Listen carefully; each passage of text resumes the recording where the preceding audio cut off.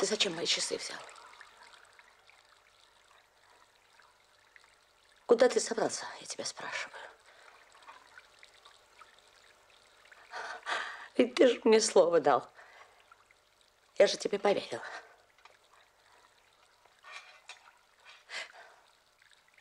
Ну, хорошо, о себе ты не хочешь думать, а мы?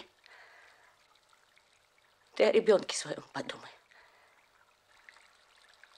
Она же к тебе еще и привыкнуть не успела.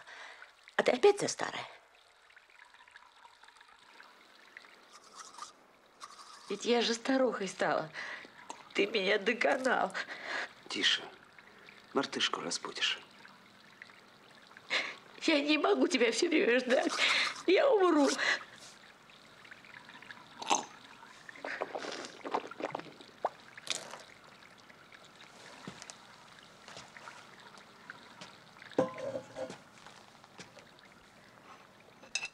Ведь ты же собирался работать. Тебе же обещали нормальную человеческую работу. Я скоро вернусь. Ай, в тюрьму ты вернешься. Только теперь тебе дадут не пять лет, а десять. Ничего у тебя не будет все эти десять лет. Ни зоны, ничего. А я за эти десять лет сдохну. Господи, тюрьма. Да мне везде тюрьма. Пусти. Не, не пущу. Пусти, не пущу.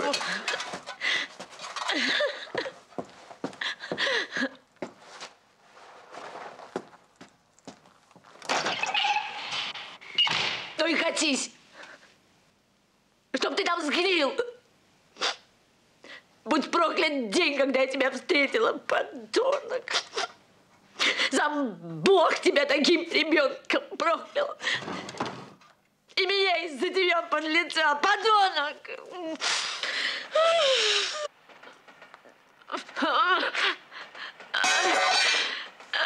Дорогая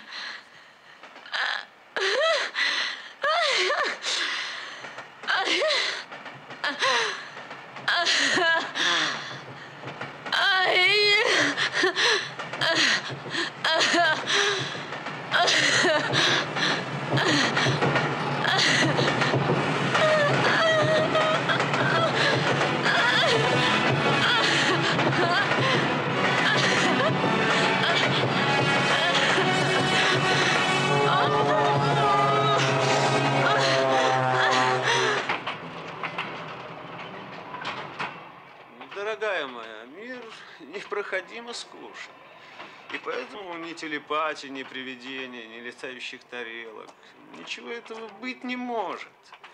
Мир управляется чугунными законами. Это невыносимо скучно. И законы эти, увы, не нарушаются. Они не умеют нарушаться.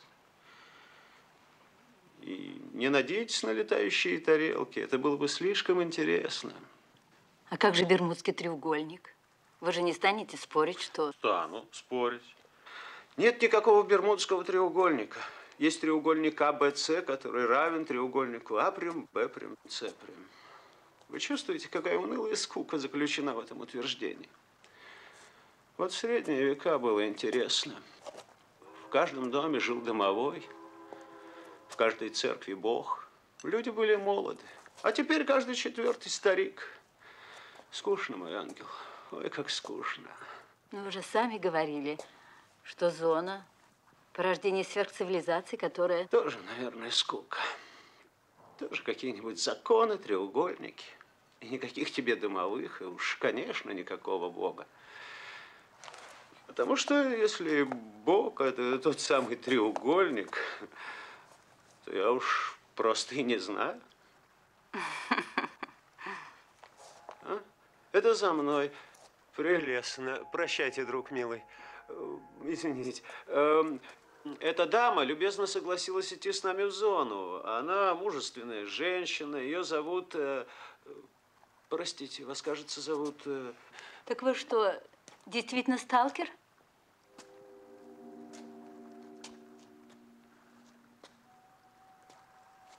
Сейчас я все объясню.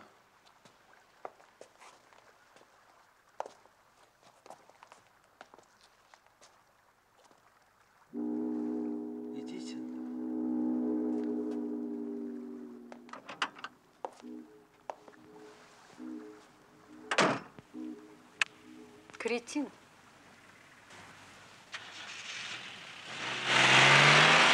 Все-таки напились. Я? В каком смысле? Я просто выпил, как это делает половина народа населения. Другая половина, да, напивается. Женщины и дети включительно. А я просто выпил.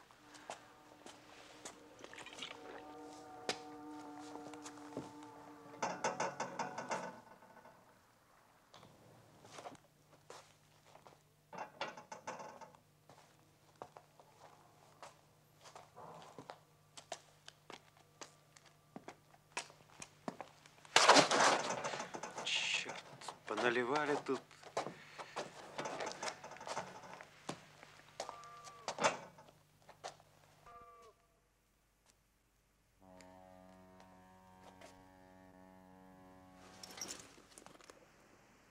Пейте, пейте, рано еще. Ну что, может, э, по стаканчику на дорогу, а? Как вы считаете?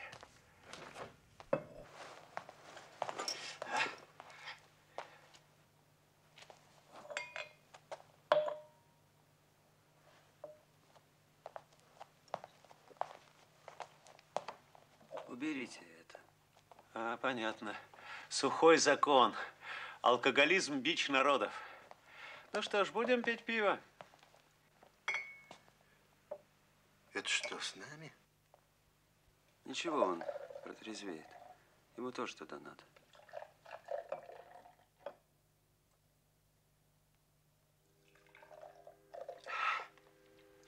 А вы что, действительно профессор? Если угодно. Ну что ж, в таком случае разрешите представиться. Меня зовут... Вас зовут писатель. Хорошо, а как зовут меня? Вас? Вас профессор. Ага, понятно. Я писатель, и меня, естественно, все почему-то зовут писатель. И о чем же вы пишете? Ой, о читателях. Ну, очевидно, ни о чем другом и писать не стоит. Ну, конечно, писать вообще не стоит. Ни о чем. А вы что, химик? Скорее физик. Тоже, наверное, скука. Поиски истины. Она прячется, а вы ее всюду ищете. То здесь копнете, то там. В одном месте копнули, ага, ядро состоит из протонов. В другом копнули, красота. Треугольник АБС равен треугольнику А прим, Б прим, С прим. А вот у меня другое дело. Я эту самую истину выкапываю, а в это время с ней что-то такое делается, что выкапывал-то я истину. А выкопал кучу, извините, не скажу чего.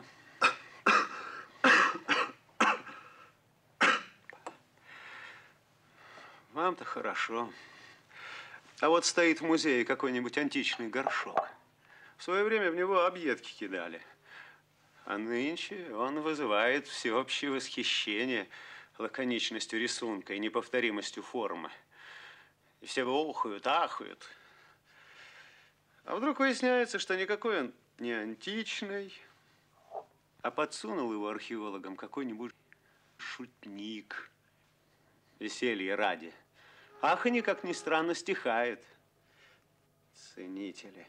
И вы все время об этом думаете? Ой, Боже, сохрани.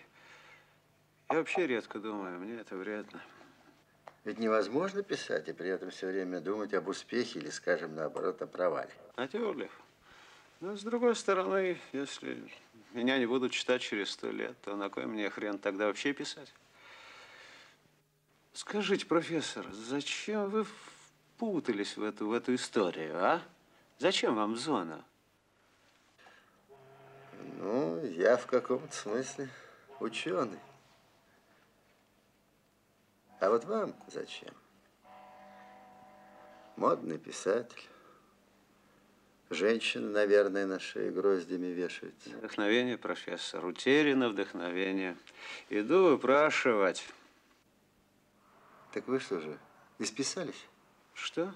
Да, пожалуй, в каком-то смысле. Слышите? Это наш поезд.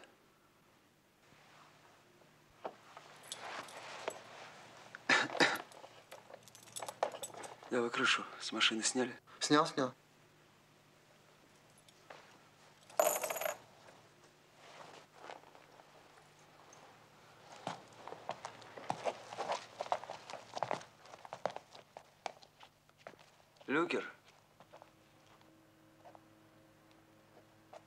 Если я не вернусь, зайти к жене.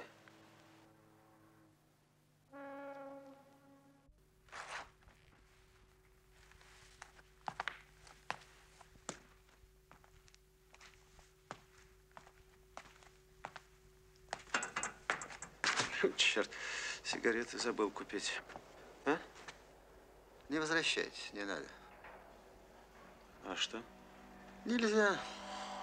Вот все вы такие. Какие? Верите во всякую чепуху. Придется оставить на черный день.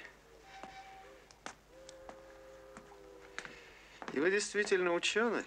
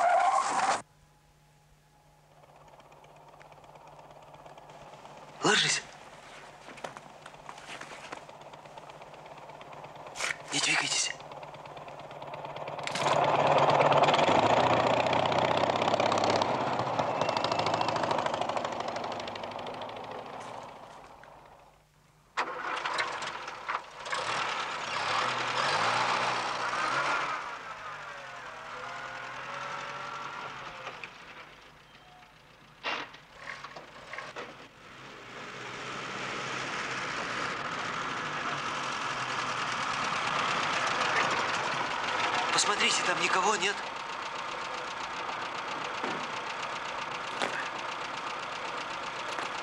Да быстрее вы, ради бога!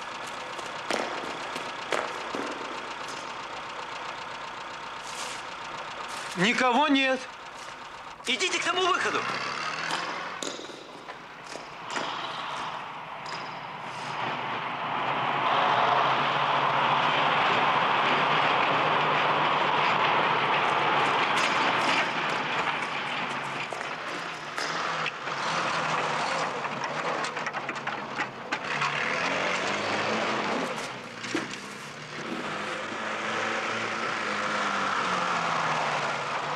Ну что ж вы, писатель?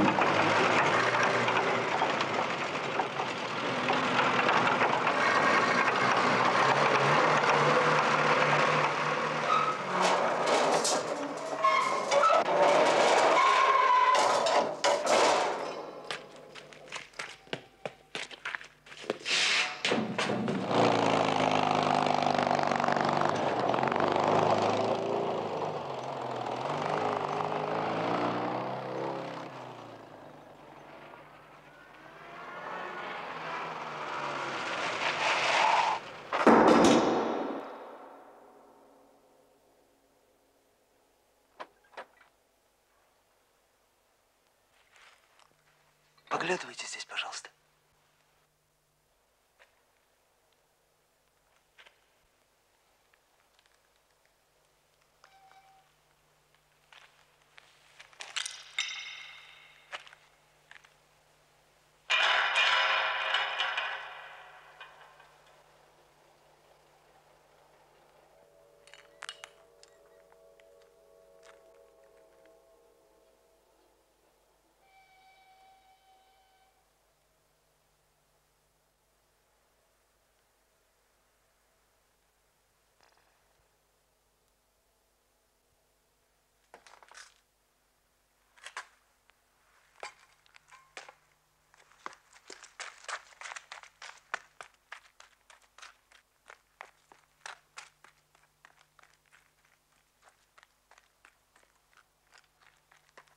Вы канистру не забыли?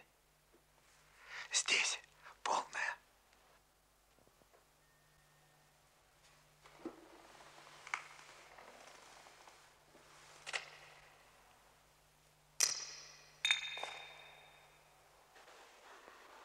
Вот я давеча говорил вам, вранье все это. Плевал я на вдохновение. А потом, откуда мне знать, как назвать то, чего я хочу? И откуда мне знать, что на самом-то деле я не хочу того, чего я хочу? Или скажем, что я действительно не хочу того, чего я не хочу?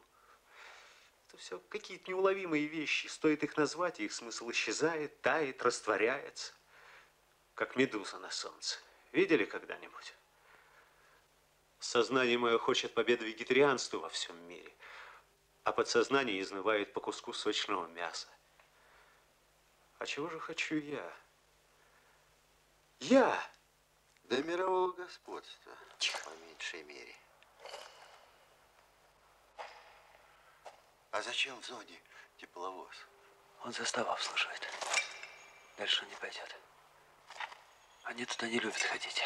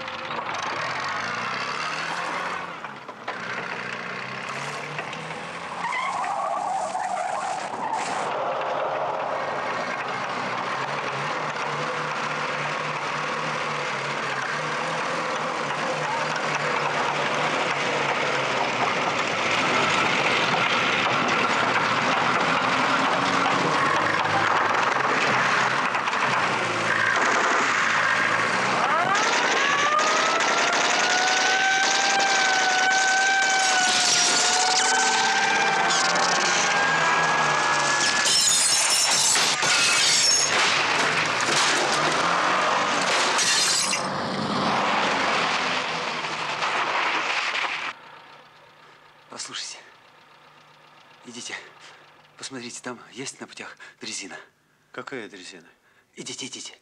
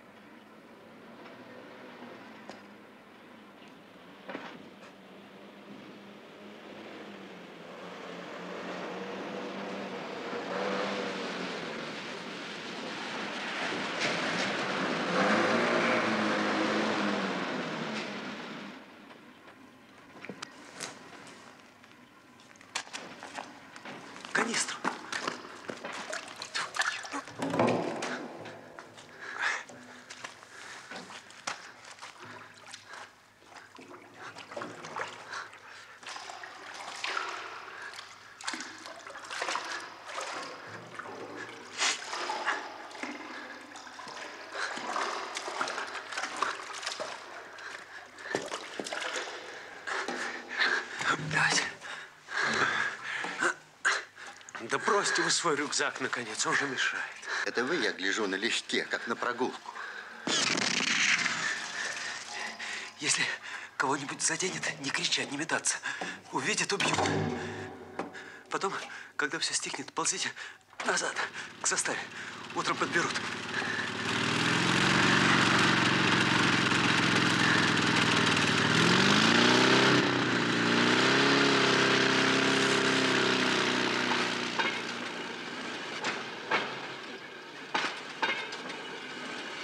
А они нас не догонят? Да что вы? Они ее боятся, как огня. Кого?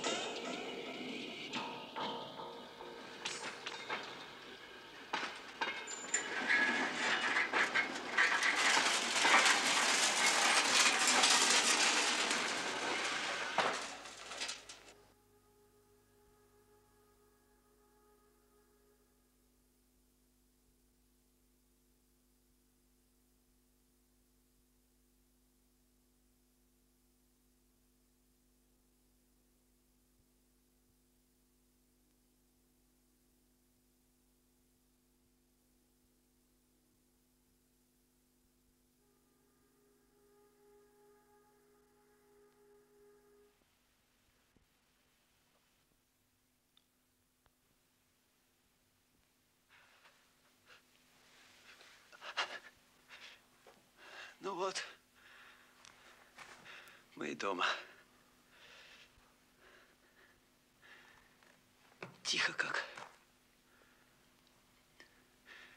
Это самое тихое место на свете. Вы потом сами увидите. Тут так красиво. Тут ведь нет никого. Мы же здесь. Ну, три человека за один день не могут здесь все испоганить. Почему не могут? Могут. Странно. Цветами почему-то не пахнет. Или я... Вы не чувствуете? Болотом воняет, это я чувствую. Нет, нет, это рекой. Тут же река. Тут недалеко цветник был. А дикобраз его взял и вытоптал. С землей сравнял. Но запах еще долго оставался. Много лет. А зачем он вытоптал? Не знаю. Я тоже его спрашивал, зачем. А он говорит, потом сам поймешь. Мне так кажется, он просто возненавидел зону. А это что, фа- фамилия такая? Дикобраз. Да нет, кличка так же, как и у вас. Он годами людей в зону водил, и никто ему не мог помешать. Мой учитель. Он мне глаза открыл. И звали его тогда не Дикобраз, а так и называли. Учитель. А потом что-то с ним случилось. Сломалось в нем что-то. Хотя, по-моему, он просто был наказан. Помогите мне, тут вот гайки, к ним вот эти бинтики надо перевязать. А я пройдусь, пожалуй. Мне тут надо...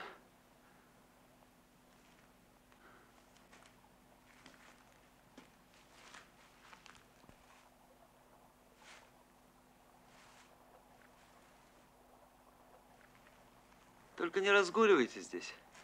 Очень.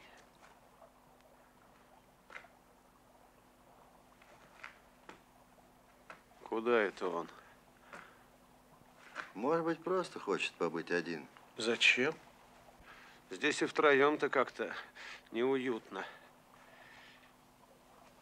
Свидание с зоной, он же сталкер. И что из этого следует? Видите ли, сталкер в каком-то смысле призвание. Я его другим представлял. Каким? Ну, кожаные чулки, там чинганчгуки, большие змеи. У него биография пострашнее. Несколько раз в тюрьме сидел, здесь калечился. И дочка у него мутант. Жертва зоны, как говорится, без ног она будто бы. А что там насчет этого, дикобраза? И что значит был наказан? Это что, фигура речи?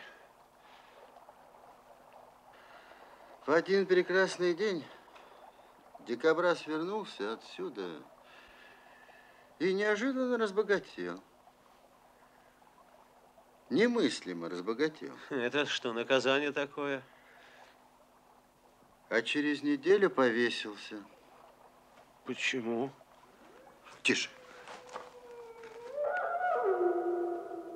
Это что еще такое?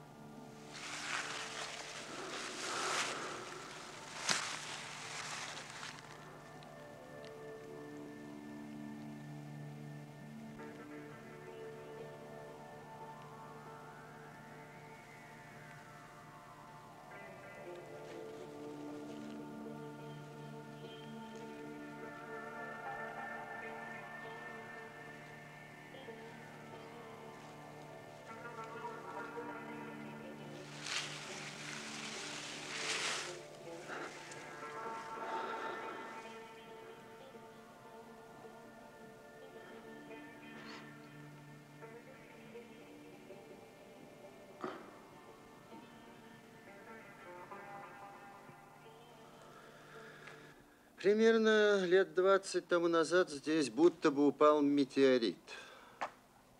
Спалил дотла поселок. Метеорит этот искали, ну и, конечно, ничего не нашли. А почему, конечно? Потом тут стали пропадать люди. Уходили сюда и не возвращались. Ну, Ну и, наконец, решили, что метеорит этот не совсем метеорит. И для начала поставили колючую проволоку, чтобы любопытствующие не рисковали. Вот тут и поползли слухи, что где-то в зоне есть место,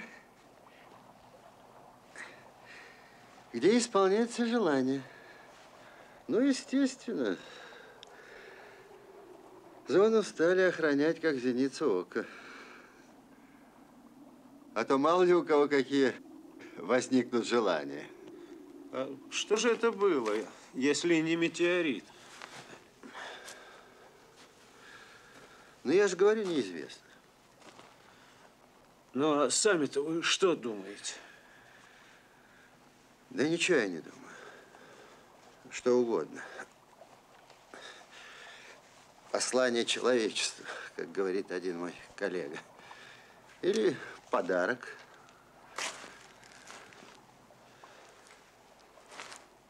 Ничего себе подарочек. Зачем им это понадобилось? Чтобы сделать нас счастливыми. А цветы снова цветут, только не пахнут почему-то.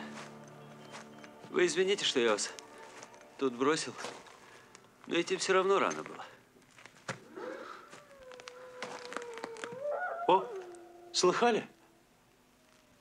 А может, это правда, что здесь живут? Кто? Ну, вы же сами мне рассказывали эту историю. Ну, туристы эти, которые стояли здесь, когда возникла зона. В зоне никого нет и быть не может.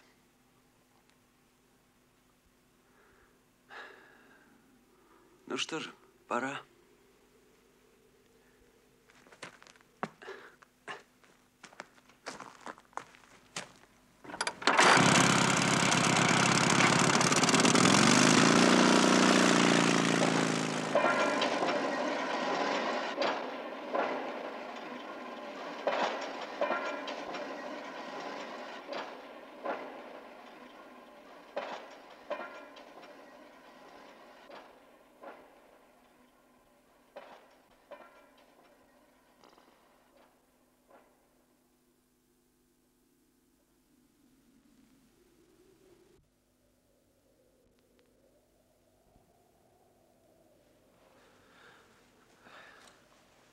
А как же мы вернемся? Здесь не возвращаются. В каком смысле? Пойдем, как условились.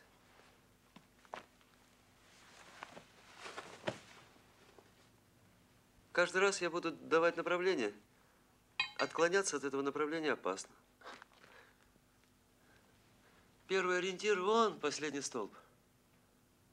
Идите, идите первый, профессор.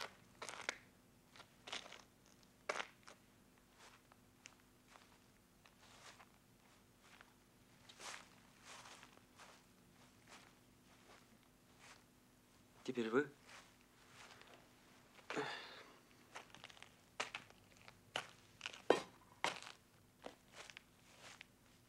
Старайтесь э, след в след.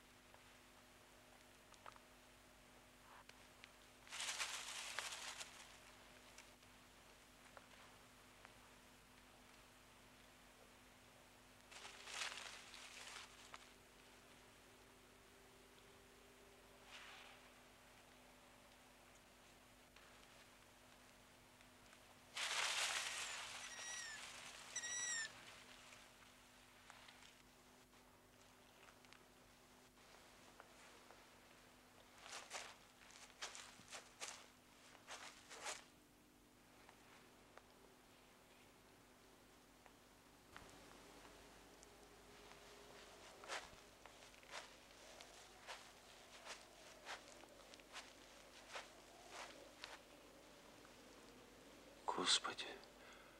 А где же они что, так здесь и остались? Люди. А кто их знает?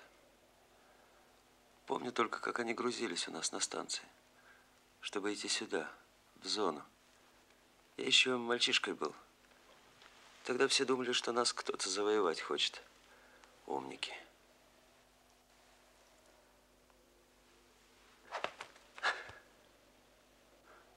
Давайте вы, профессор.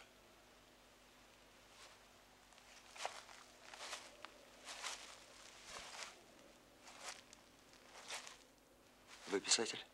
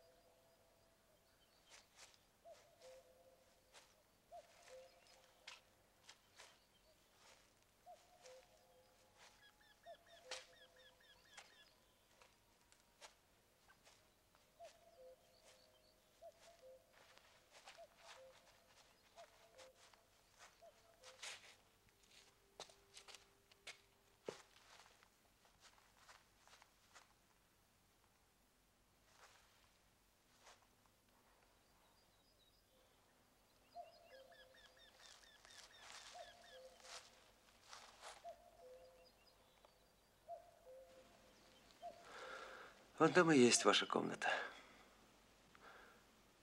Нам туда. Что же, цену набивали? Это же рукой подать. Да, но рука должна быть очень длинной. У нас такой нет.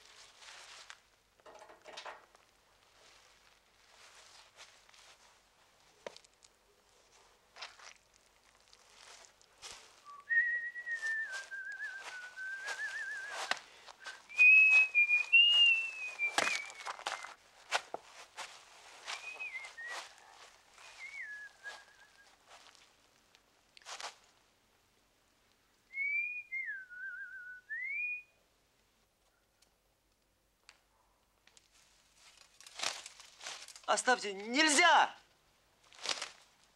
Не надо. Не трогайте! Да не трогайте же вы! Да вы что, спятили? Вы что? Я же говорил, тут не место для прогулок. Зона требует к себе уважения, иначе она карает. Карает. Только попробуйте еще раз что-нибудь такое. У вас что, языка нет? Я же просил. Нам туда? Да, подняться, войти и сразу налево. Только мы здесь не пойдем. Мы пойдем кругом. Это еще зачем? Здесь не ходят. В зоне вообще прямой путь не самый короткий. Чем дальше, тем меньше риска. Ну, а если напрямик, это что, смертельно? Ведь вам же сказали, что это опасно. А в обход не очень. Тоже опасно, конечно. Но я же говорю, здесь не ходят. Да мало ли кто где не ходит. Ну, а если я все-таки Послушайте, вы... тащиться куда-то в обход, а здесь все перед носом. И здесь риск, и там риск. Какого черта? Знаете, вы очень легкомысленно к этому относитесь. Надоели все эти гайки с бинтиками. Ну их. Вы как хотите, а я пойду. Да он просто не вменяем. Сами вы знаете ли. Можно мне?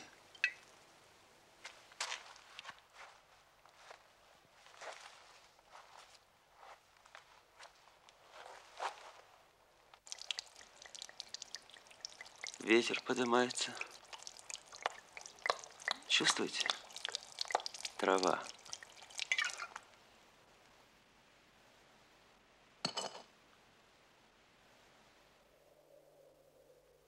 Ну что ж, тогда тем более.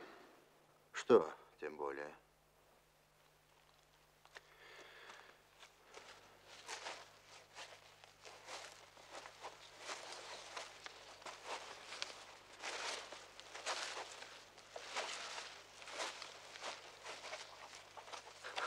Постойте. Да уберите вы руки. Хорошо. Пусть тогда профессор будет свидетелем. Я вас туда не посылал. Вы сами идете. По доброй воле. Самый подобрый. Что еще? Ничего. Идите.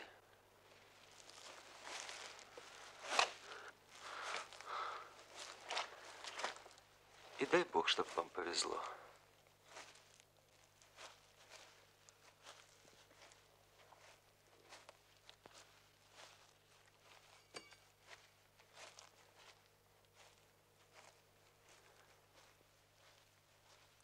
Послушайте, если вы вдруг что-то заметите или даже только почувствуете что-то особое, немедленно возвращайтесь. Иначе Только не кидайте мне железки в затылок.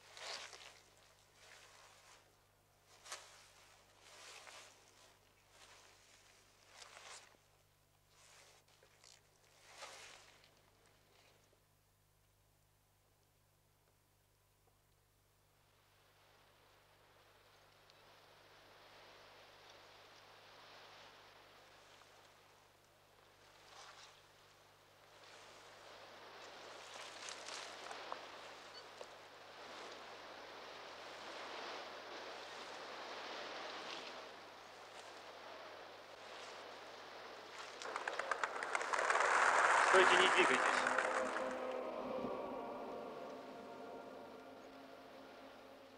Зачем вы? Что? Зачем? Зачем вы его остановили? Как? Я думал, это вы.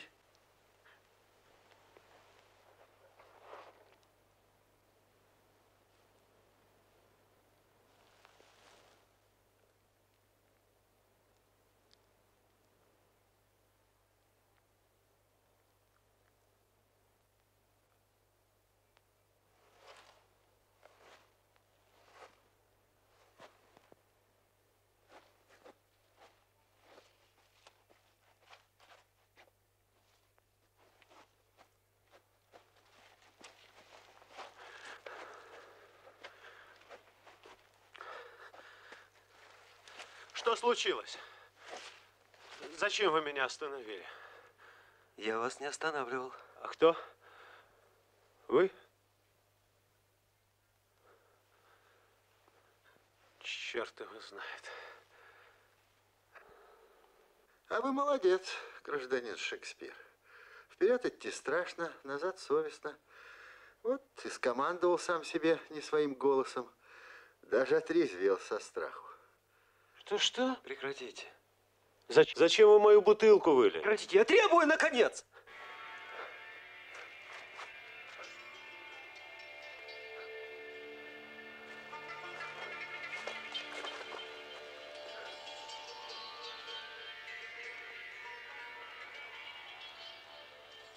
Зона – это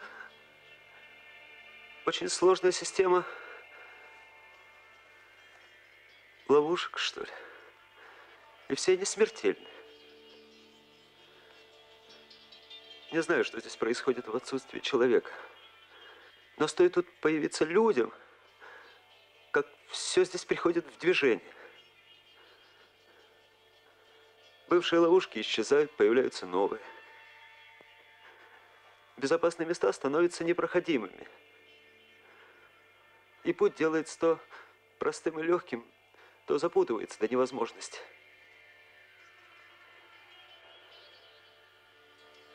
Это зона. Может даже показаться, что она капризна.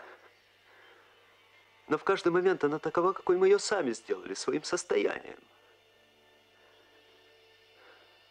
Не скрою, были случаи, когда людям приходилось возвращаться с полдороги несолоно хлебавши.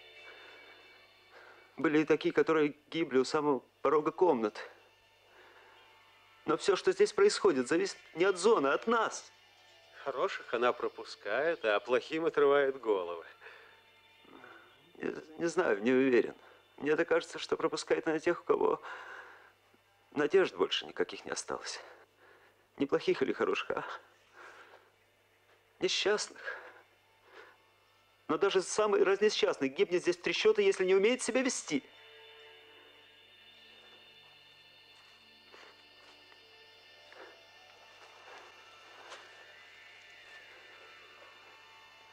Повезло, вас она предупредила, а могла бы и не предупредить.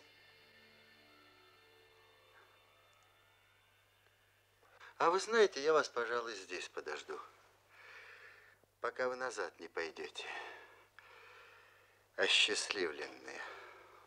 Это невозможно. Уверяю вас, у меня с собой бутерброды, термос. Во-первых, без меня вы здесь и часу не выдержите. А во-вторых, А во-вторых, здесь не возвращаются тем путем, каким приходят.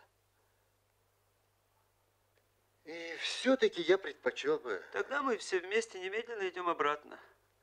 Деньги я вам верну. Разумеется, за вычетом некоторой суммы, за... Ну, за беспокойство, что ли.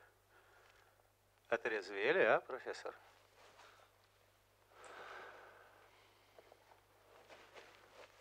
Ладно, бросайте вашу гайку.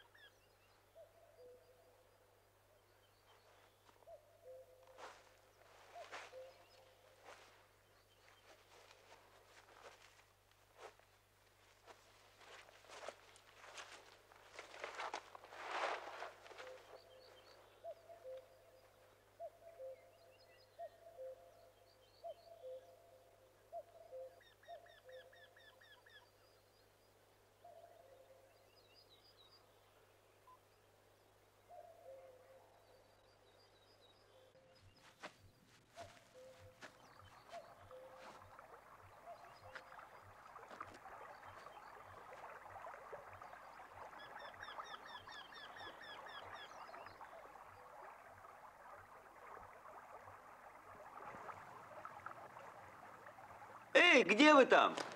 Идите сюда.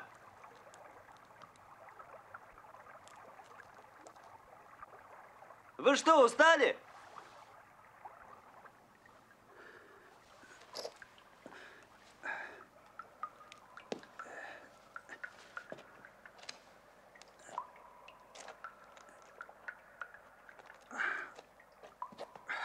О, Господи. Опять, кажется, наставление будет читать, судя по тону.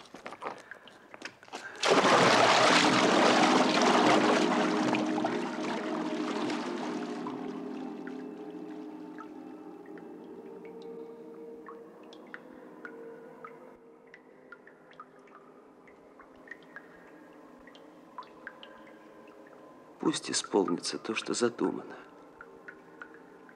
Пусть они поверят. Пусть посмеются над своими страстями. Ведь то, что они называют страстью, на самом деле не душевная энергия, а лишь трение между душой и внешним миром. А главное, пусть поверят в себя и станут беспомощными, как дети. Потому что слабость велика, а сила ничтожна.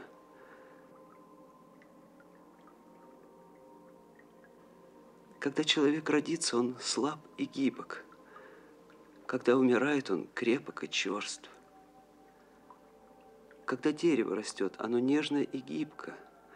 А когда оно сухо и жестко, оно умирает. Черствость и сила – спутники смерти. Гибкость и слабость выражают свежесть бытия. Поэтому, что отвердело, то не победит.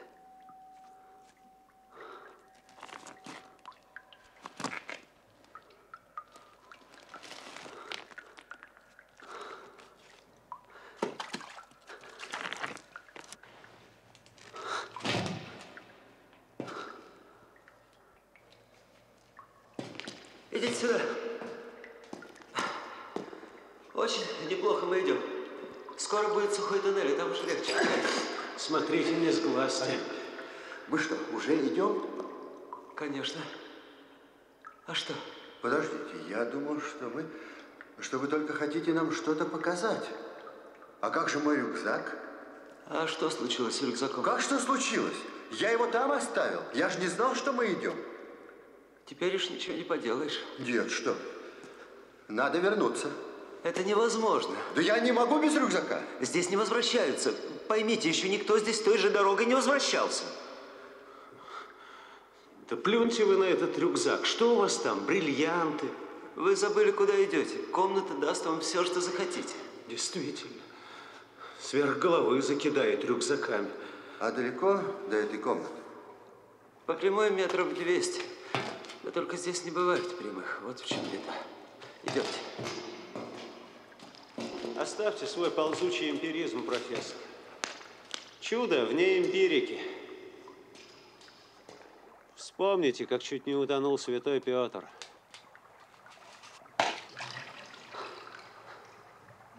Идите, писатель. Куда идти? Вот по этой лестнице.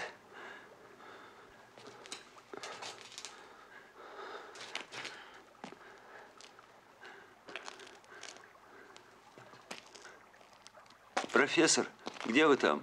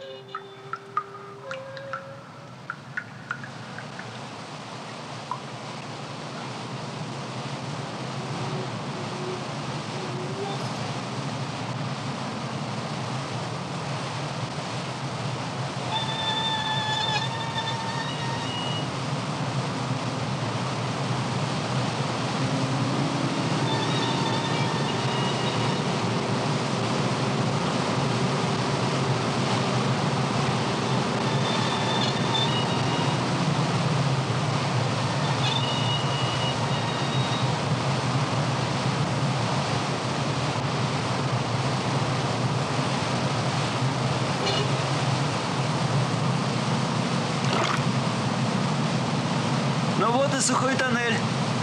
Ничего себе сухой. Это местная шутка. Обычно здесь вообще вплавь надо.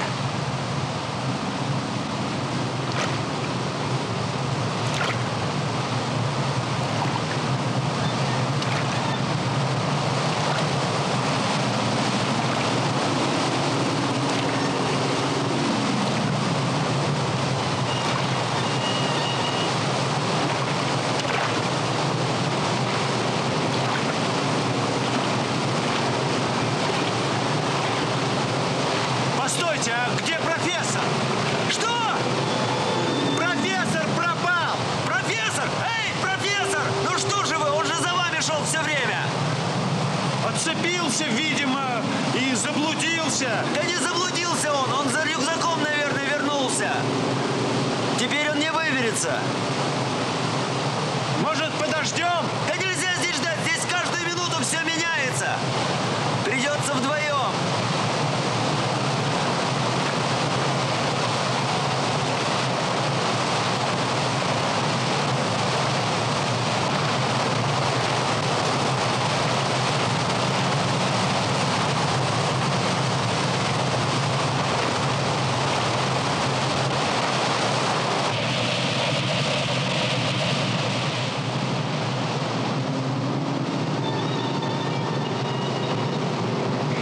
Смотрите, что это? Откуда? Я же вам объяснял. Что объяснял? Это зона, понимаете? Зона. Идемте скорее. Здесь идемте.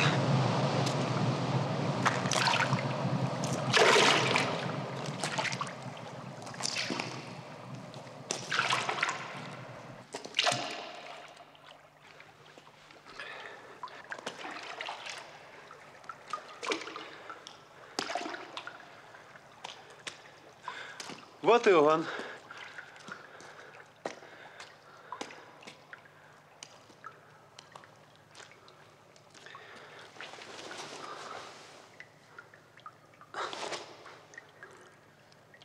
Я, разумеется, весьма признателен вам, что вы только Как вы сюда попали?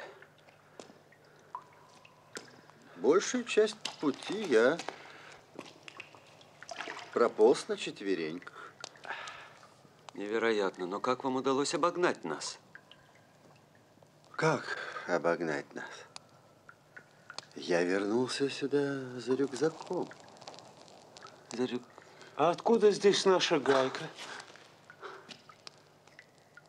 Боже мой, это, это же ловушка. Здесь же дикобраз специально гайку повесил. Как же зона нас пропустила?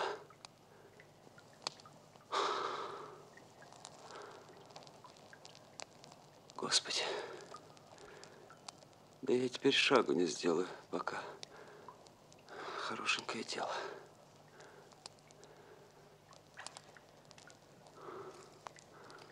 Все. Отдых.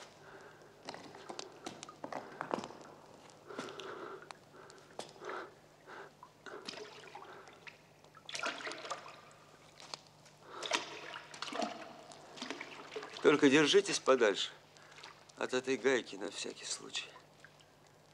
Я уж грешным делом думал, что профессор не выберется. Я ведь... Я ведь никогда не знаю заранее, каких людей я веду. Все выясняется только здесь, когда уж поздно бывает. Мы-то ладно. Главное, профессорский мешок с подштанниками цел остался. Ну и не суйте свой нос чужие подштанники, если не понимаете. А что тут понимать, собственно? Подумаешь, бином не то. Тоже мне психологические бездны. В институте мы на плохом счету. Средств на экспедицию нам не дают. Набьем-ка мы наш рюкзак всякими там манометрами, дерьмометрами. Проникнем в зону нелегально. И все здешние чудеса поверим алгеброй. Никто в мире про зону понятия не имеет. И тут, конечно, сенсация.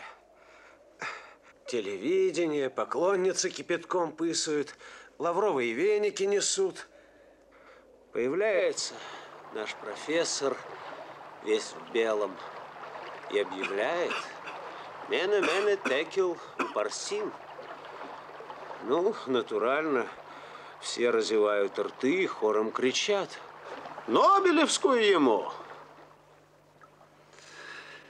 Писателишка вы задрипанный, психолог доморощенный. Вам бы стены в сортирах расписывать. Трепло бездарное. Вяло, вяло, не умеете. Не знаете вы, как это делается. Ну, хорошо. Я иду за Нобелевской премией, ладно. А вы зачем поспешаете? Хотите одарить человечество перлами своего покупного вдохновения? Плевал я на человечество. Во всем вашем человечестве меня интересует только один человек.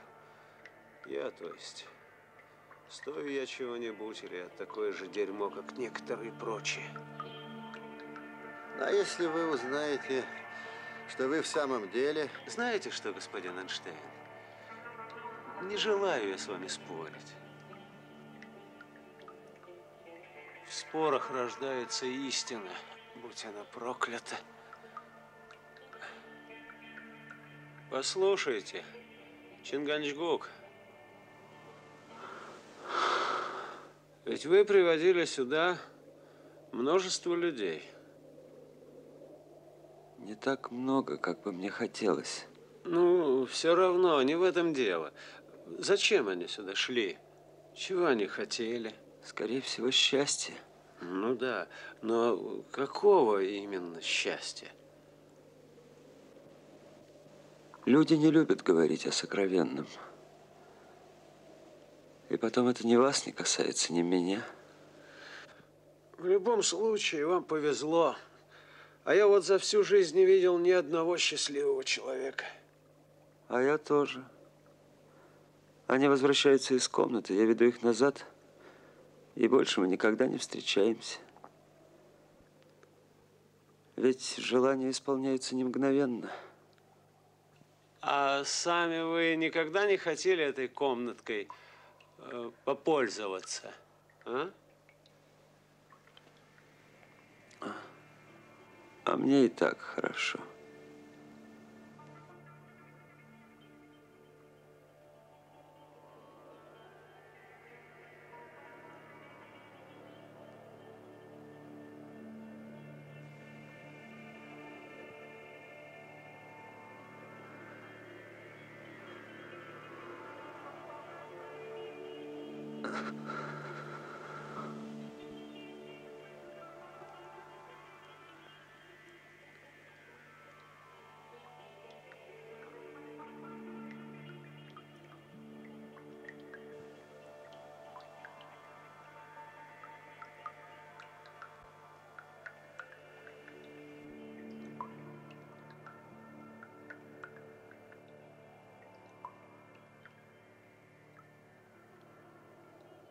Профессор, послушайте.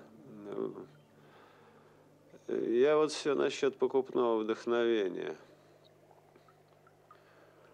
Положим, войду я в эту комнату и вернусь в наш богом забытый город гением. Вы следите?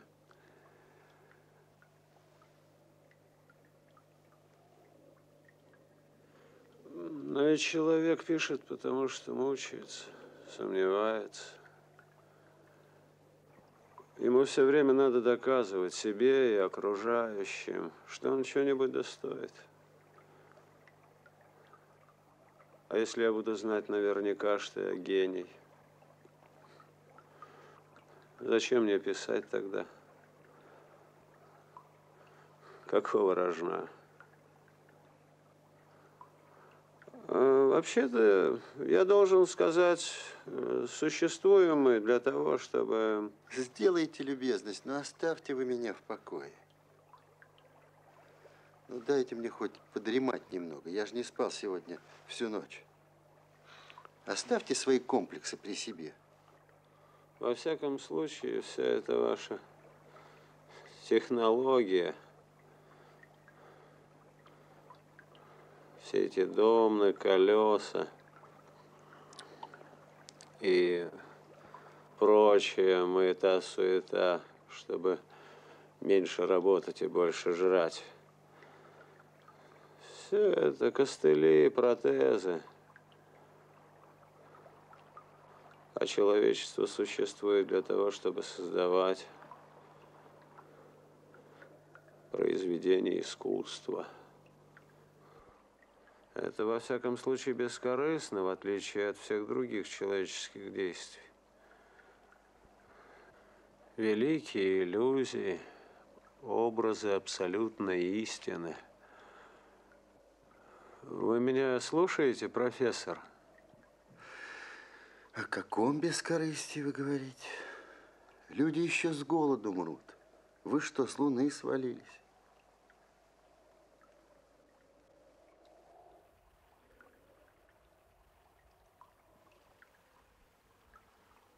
И это наши мозговые аристократы. Вы же абстрактно мыслить не умеете. Уж не собираетесь ли вы учить меня смыслу жизни? И мыслить заодно. Бесполезно. Вы хоть и профессор, а темный.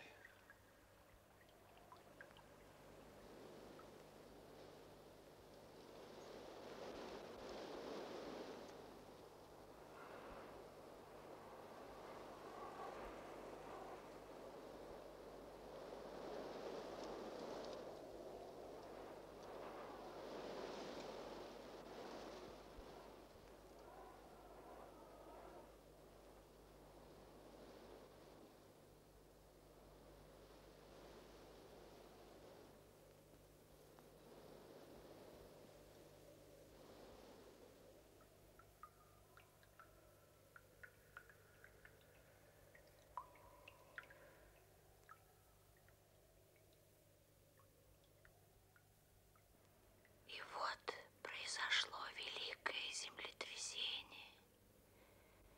И солнце стало мрачно, как власеница. И луна сделалась, как кровь.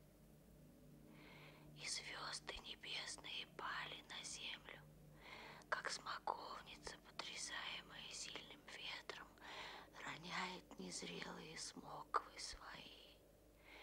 И небо скрылось, свившись, как свиток, и всякая гора и остров двинулись с мест своих.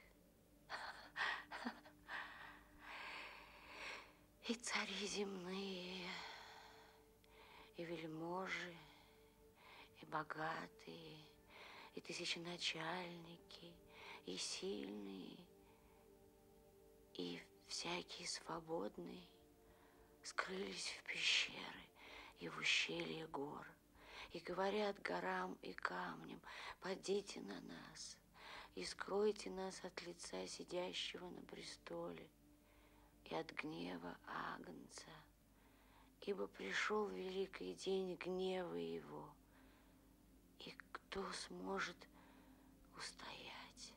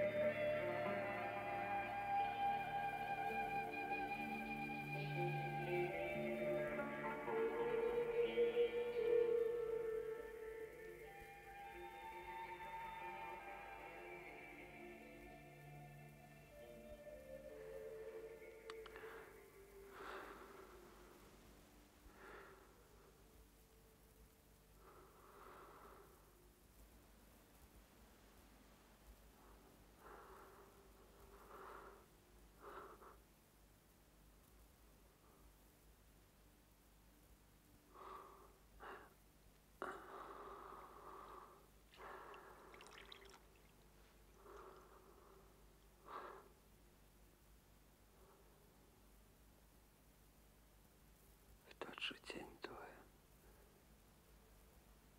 Из них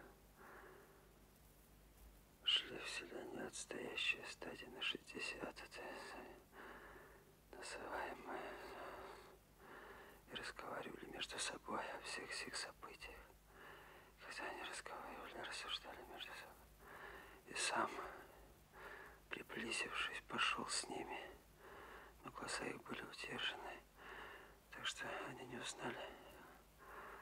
Он же сказал им, о чем это вы? Ведь рассуждаете между собой, отчего вы печальны. Один из них именем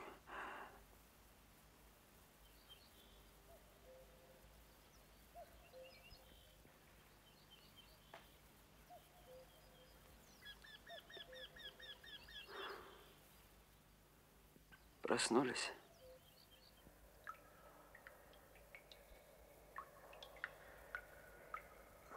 Вот вы говорили тут о смысле нашего э, жизни, бескорыстности искусства. Вот, скажем, музыка.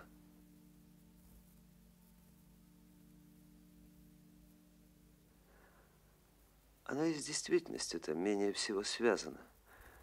Вернее, если и связано, то безыдейно, механически, пустым звуком, без ассоциаций.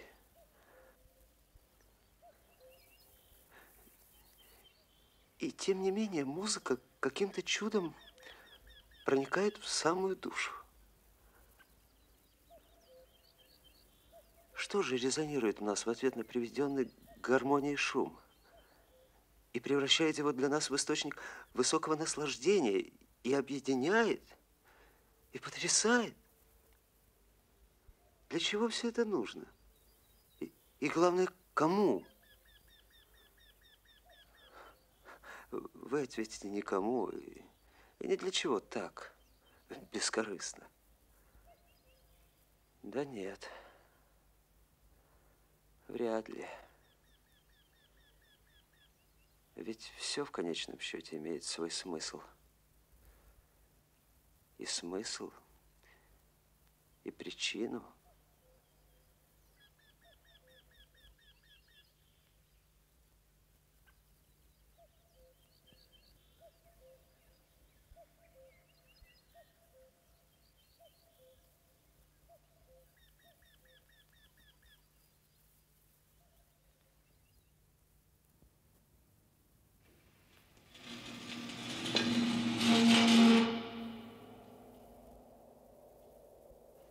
Это что же, идти? К сожалению, другого пути нет.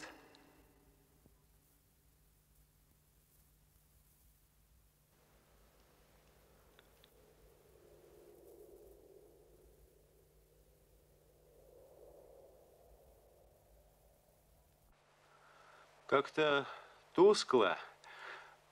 А, профессор? Тут мне как-то идти первым нежелательно.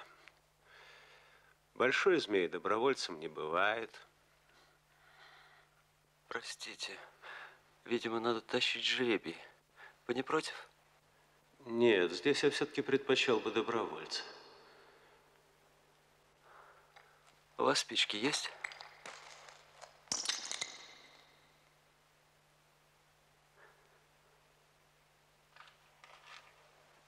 Спасибо.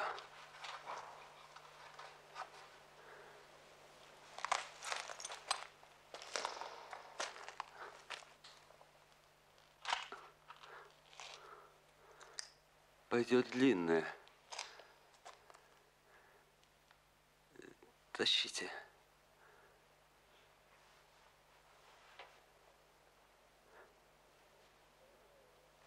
Длинная. На этот раз не повезло.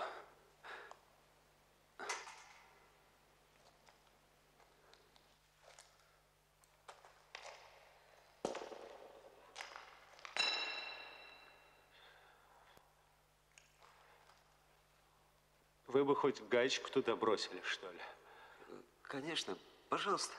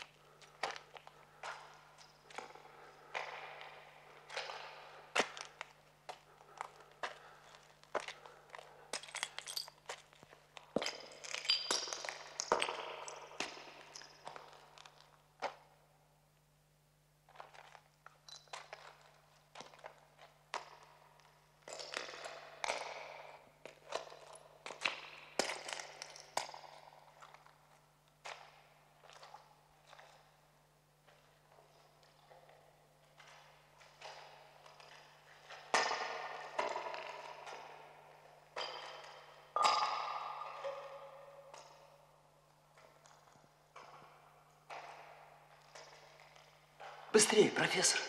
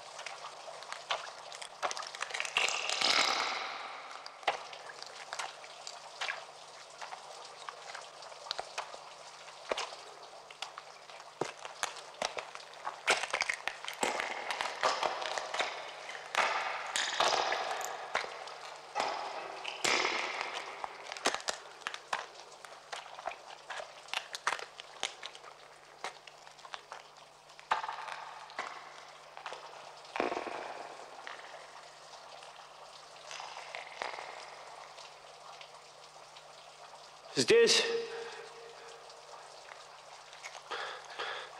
Здесь дверь Здесь какая-то. дверь какая-то.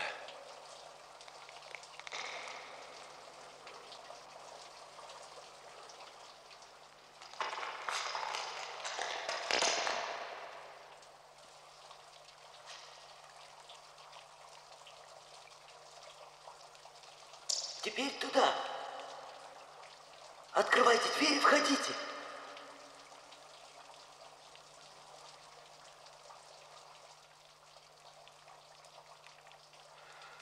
Опять я.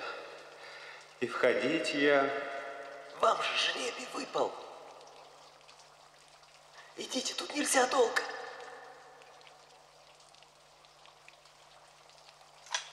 Что у вас там? Тут, тут нельзя с оружием. Вы же погибнете так и нас погубите. Вспомните танки.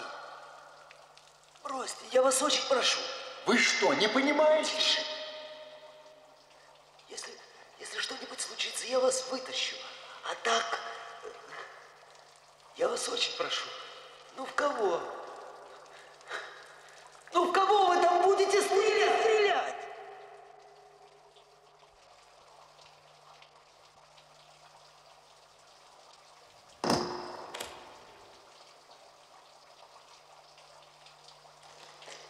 Идите, идите, у нас мало времени. Тут вода. За поручни спускайтесь.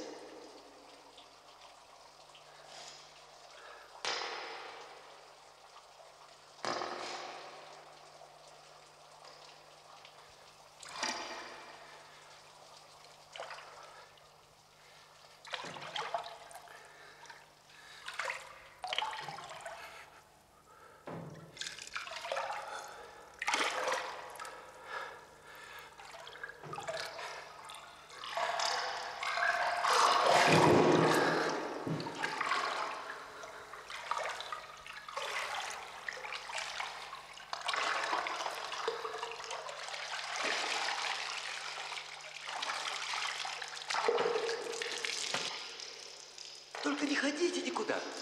Ждите наверху, у выхода.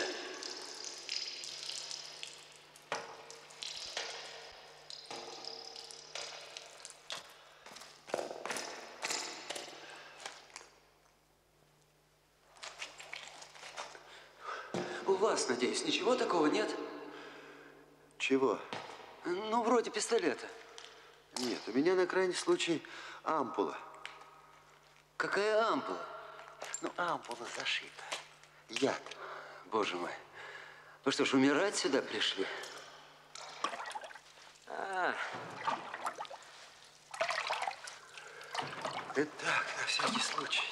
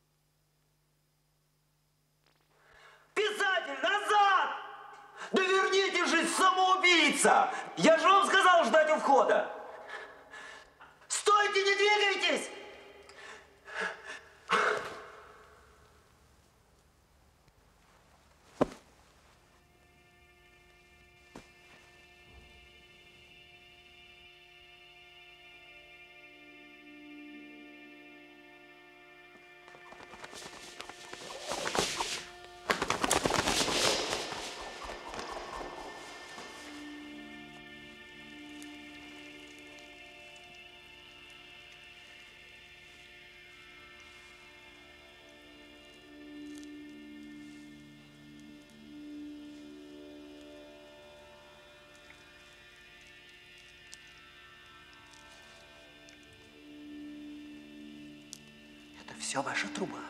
Что? Ничего. Вам бы по ней первому. Вот он и полез не туда с перепугу.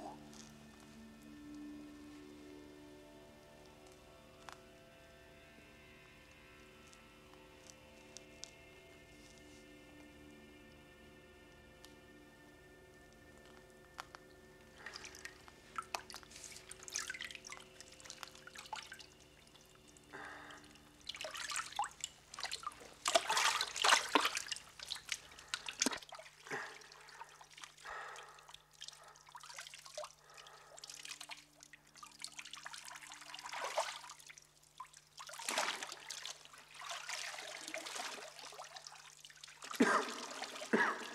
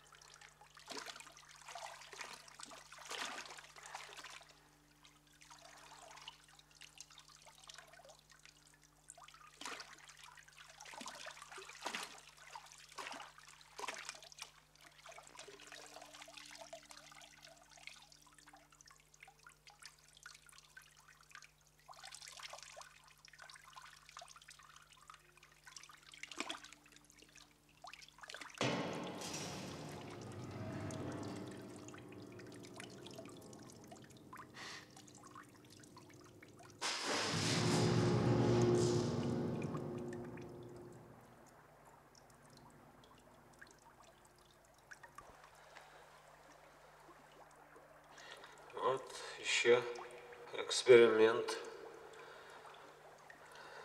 Эксперименты, факты, истина в последней инстанции. Да фактов вообще не бывает, а уж здесь и подавно. Здесь все кем-то выдумано. Все это чья-то идиотская выдумка. Неужели вы не чувствуете? А вам, конечно, до зарезу нужно знать, чья. А почему? Что толку от ваших знаний? Чья совесть от них заболит? Моя? У меня нет совести. У меня есть только нервы. Обругает какая-нибудь сволочь рано. Другая сволочь похвалит еще рано. Душу вложишь, сердце свое вложишь, сожрут и душу, и сердце. Мерзость вынешь из души, жрут мерзость. Они же все поголовно грамотные. У них у всех сенсорное голодание. И все они клубятся вокруг. Журналисты, редакторы, критики, бабы какие-то непрерывные. И все требуют, давай, давай. Какой из меня к черту писатель, если я ненавижу писать? Если для меня это мука, болезненное, постыдное занятие, что-то вроде выдавливания геморроя. Ведь я раньше думал, что от моих книг кто-то становится лучше. Да не нужен я никому. Я сдохну, а через два дня меня забудут и начнут жрать кого-нибудь другого. Ведь я думал переделать их, а переделали-то меня по своему образу и подобию.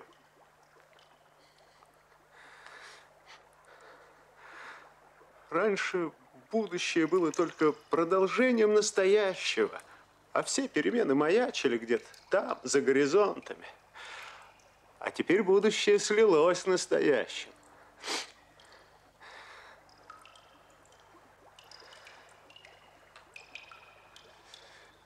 Разве они готовы к этому?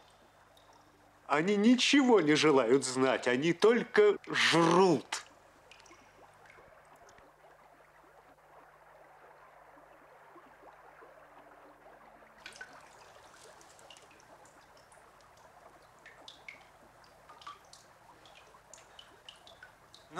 Же вам. Боже мой, да теперь... Теперь вы сто лет жить будете.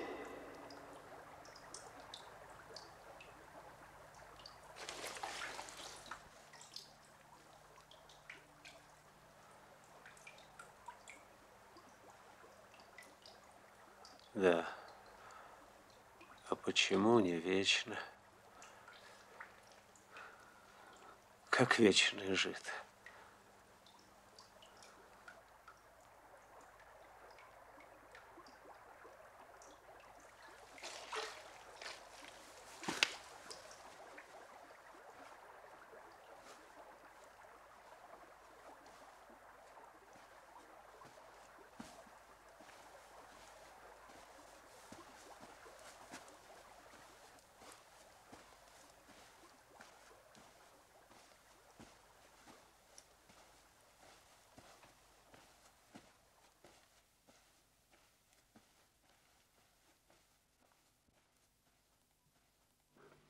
Вы, наверное, прекрасный человек. Я, правда, и не сомневался почти. Но все же вы такую муку выдержали. Эта труба страшное место. Самое страшное в зоне. У нас его называют мясорубкой, но это хуже любой мясорубки. Сколько людей здесь погибло?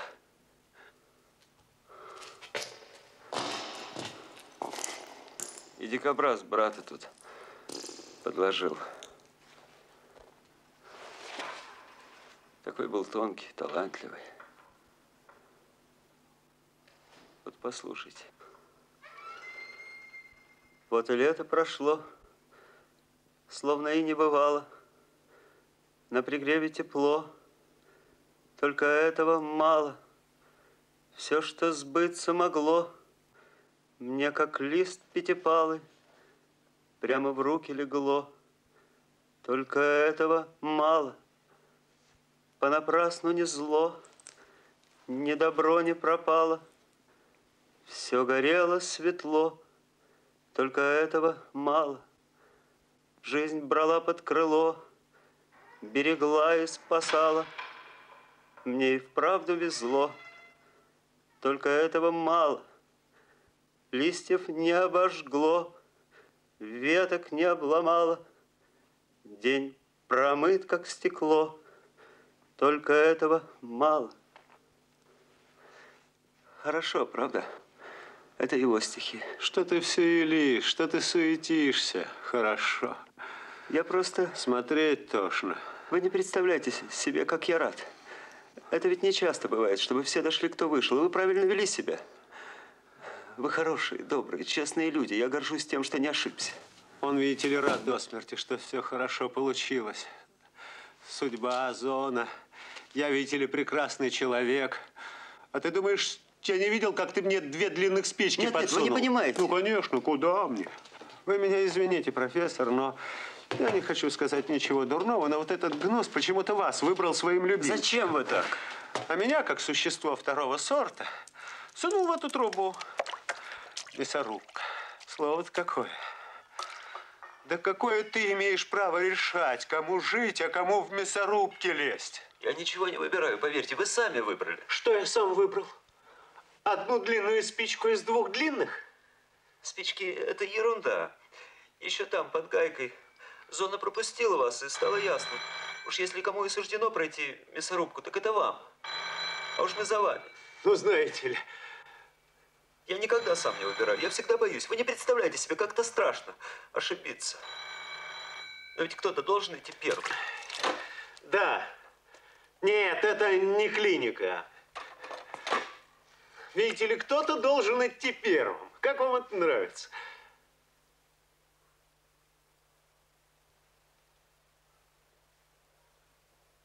Не трогайте!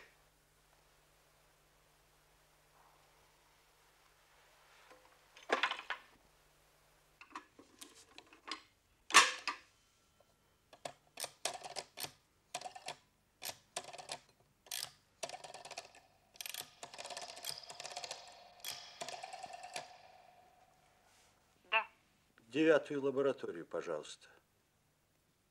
одну минутку.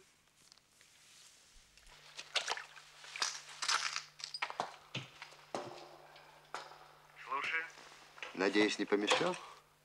Что тебе надо? Всего несколько слов. Вы спрятали, я нашел.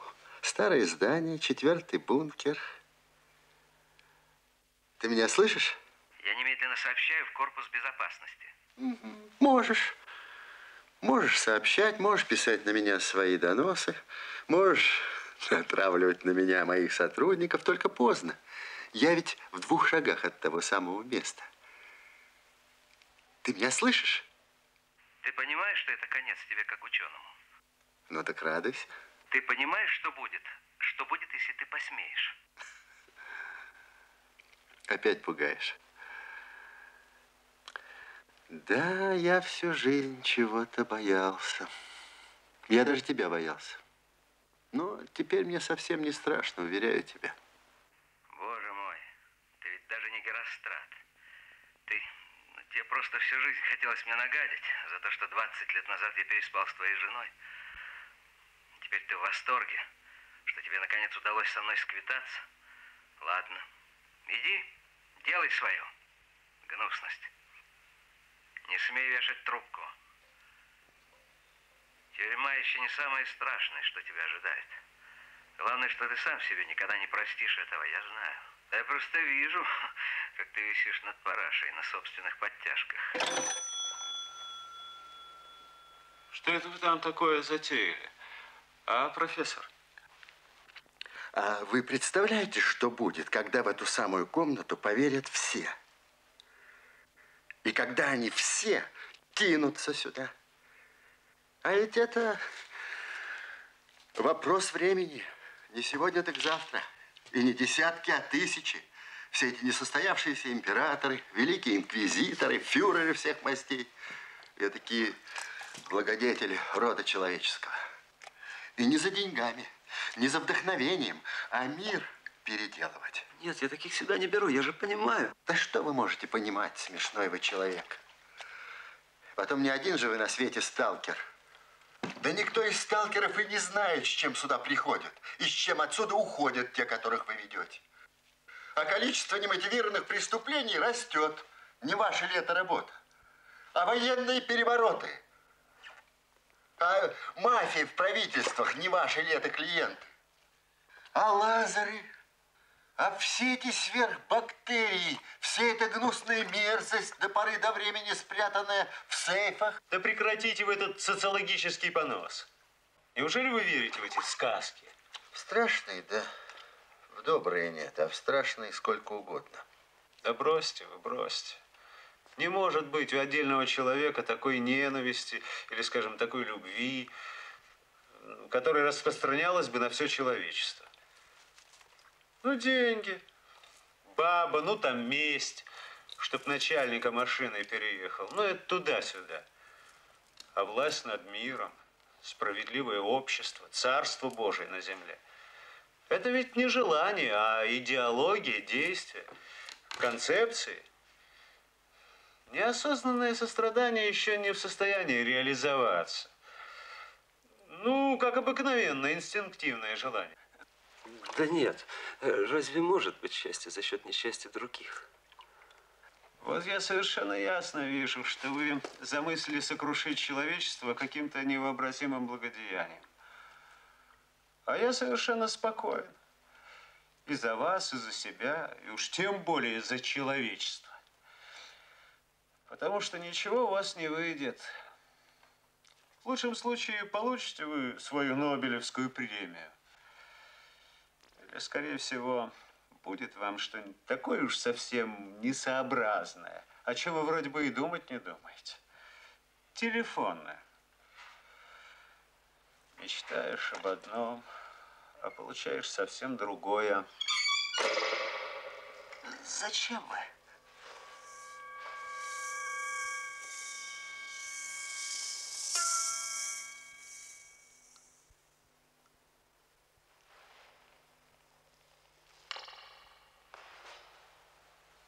Телефон, электричество. Смотрите-ка, замечательное снотворное. Сейчас такого уже и не выпускают. Откуда здесь столько? Может быть, пойдем туда? Скоро вечер. Темно будет возвращаться.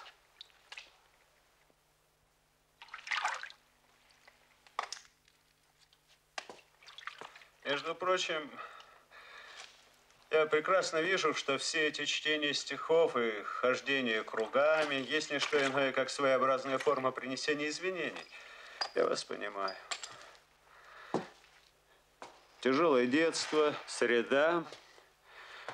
Но вы не обольщайтесь. Я вас не прощу. Вот этого не надо.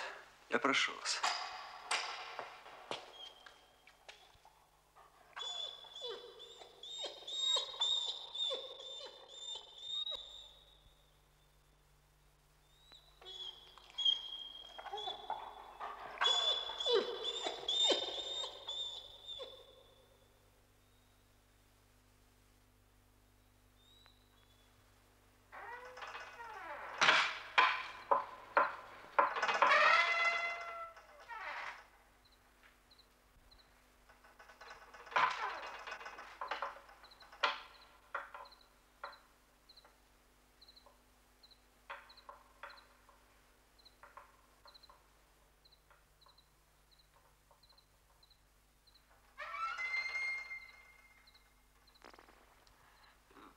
Профессор, подойдите к нам.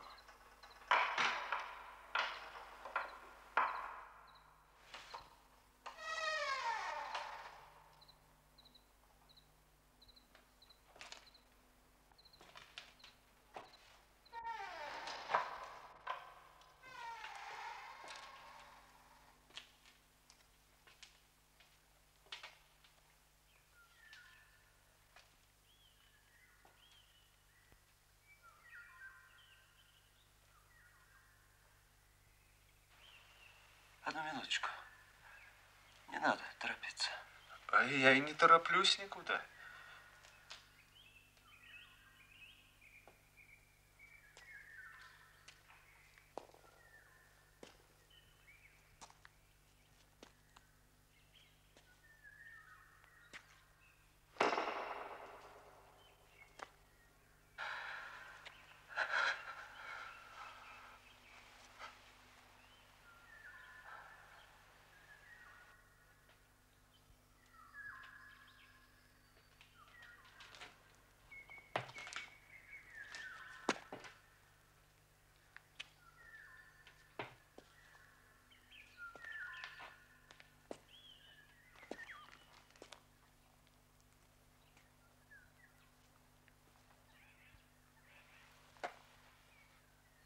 Знаю, вы будете сердиться. Но все равно я должен сказать вам.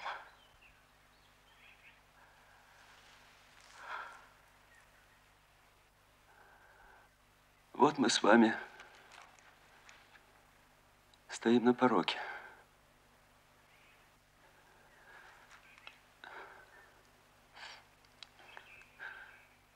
Это самый важный момент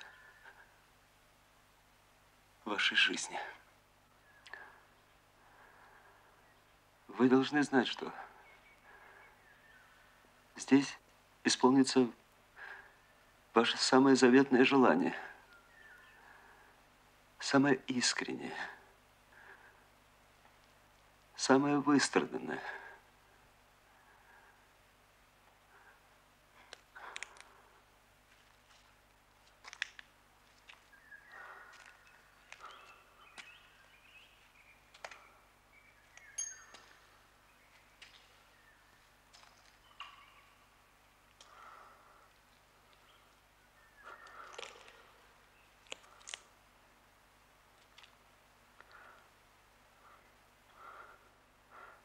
Говорить ничего не надо. Нужно только сосредоточиться и постараться вспомнить всю свою жизнь. Когда человек думает о прошлом, он становится добрее. А главное,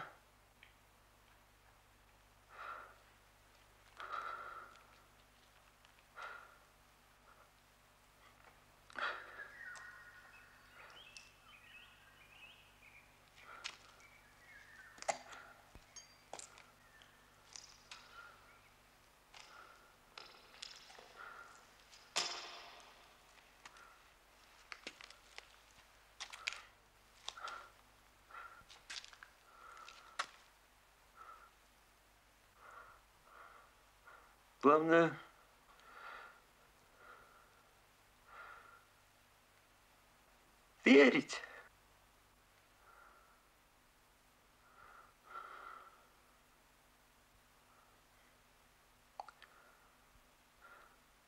Ну, а теперь идите.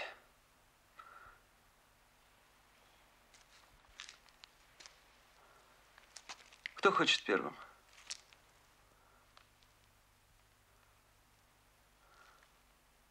Может быть, вы? Я? Нет, я не хочу. Я понимаю, это не так просто. Но вы не беспокойтесь, это сейчас пройдет. Едва ли это пройдет. Во-первых, если я стану вспоминать свою жизнь, то вряд ли стану добрее. А потом, неужели ты не чувствуешь, как это все срамно?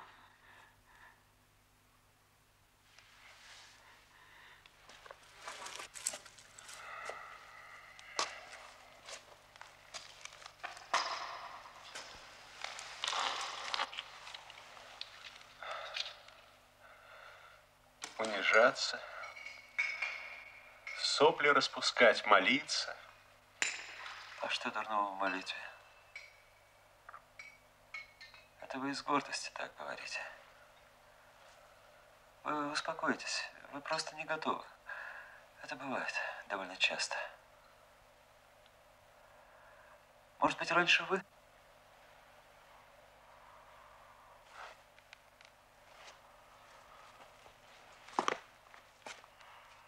Я?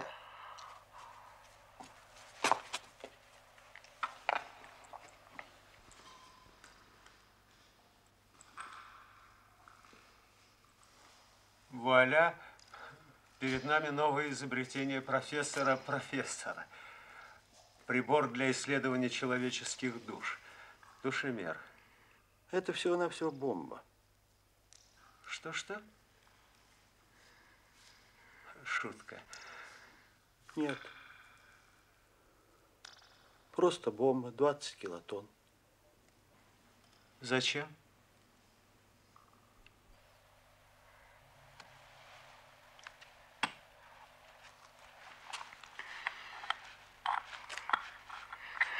Мы собрали ее с друзьями,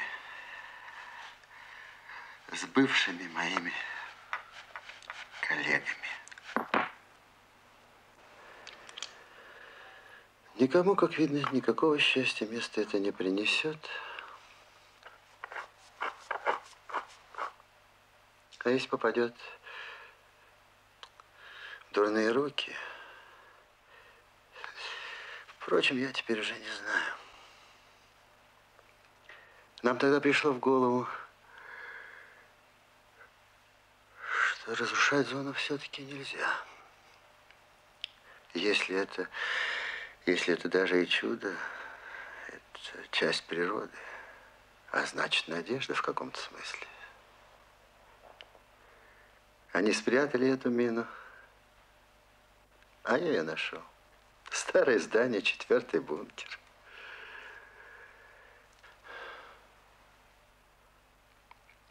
Видимо, должен существовать принцип. Никогда не совершать необратимых действий. Я ведь понимаю, я ведь не маньяк. Но пока эта язва здесь открыта для всякой сволочи, ни сна, ни покоя.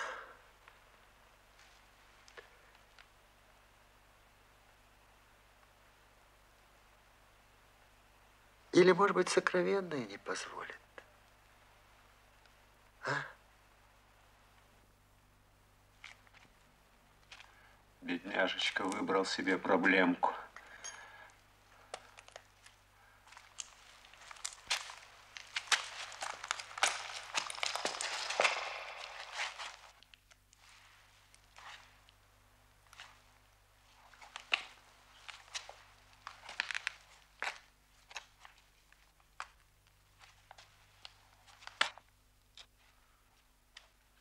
Отдайте.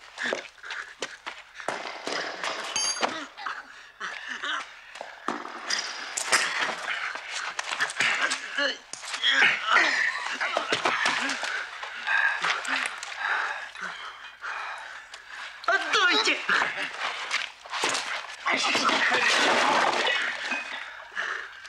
Вы же интеллигентный человек.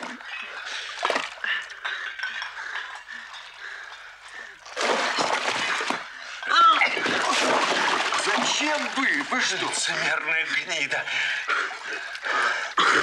За что? За что же меня? Он же хочет это уничтожить. Он же надежду вашу хочет уничтожить. Отдайте!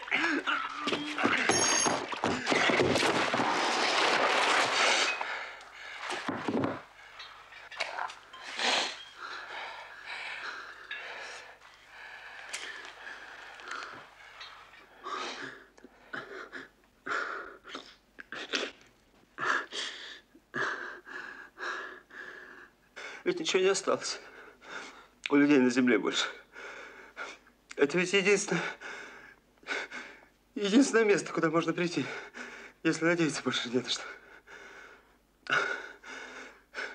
Ведь вы же пришли. Зачем же уничтожаете веру? Да замолчи! Я же тебя насквозь вижу. Плевать ты хотел на людей. Ты же деньги зарабатываешь на нашей тоске. Да не в деньгах даже дело. Ты же здесь наслаждаешься. Ты же здесь царь и бог. Ты, лицемерная гнида, решаешь, кому жить, а кому умереть.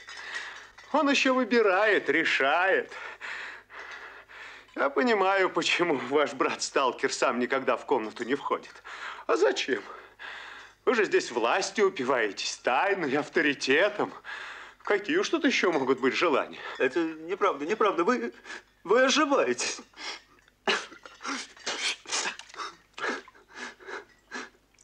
Сталкеру нельзя входить в комнату. Сталкеру вообще нельзя входить в зону с корыстной целью. Нельзя. Вспомните дикобраза. Да. Вы правы, я гнида, я ничего не сделал. В этом мире ничего не могу сделать. И жене не смог ничего дать. И друзей у меня нет, и быть не может. Но моего вы меня не отнимайте. У меня и так уж все отняли там. За колючий проволок. Все мое здесь, понимаете? Здесь. В зоне. Счастье мое. Свобода моя, достоинство, все здесь. Привожу сюда таких же, как я, несчастных, замученных. Им, им не на что больше надеяться. А я могу, понимаете, я могу им помочь. Никто им помочь не может, а я гнида. Я гнида могу. Я от плакать готов, что могу им помочь. Вот и все. Ничего не хочу больше.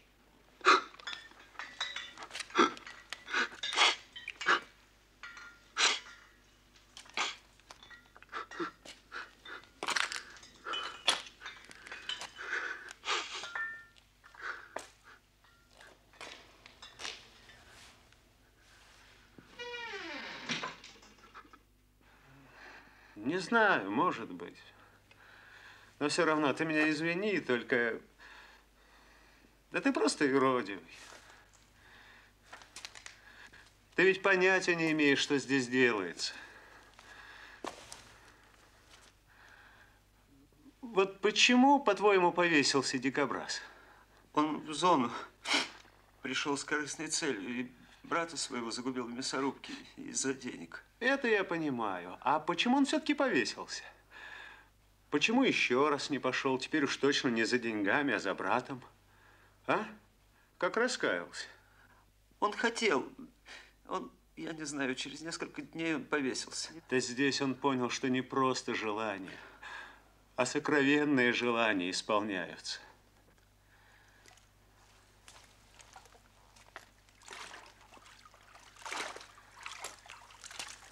А что ты там в голос кричишь?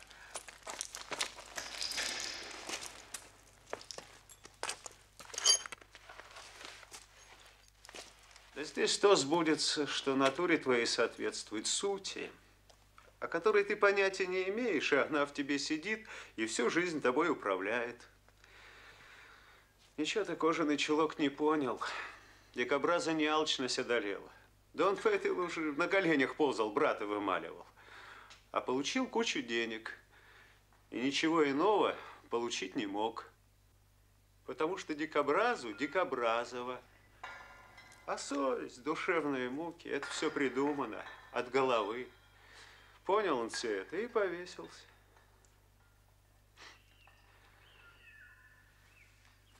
Не пойду я в твою комнату. Не хочу дрянь, которая у меня накопилась, никому на голову выливать. Даже на твою. А потом, как дикобраз, в петлю лезть. Лучше уж я в своем вонючем писательском особняке сопьюсь тихо и мирно. Нет, большой змей, паршиво ты в людях разбираешься, если таких, как я, в зону водишь.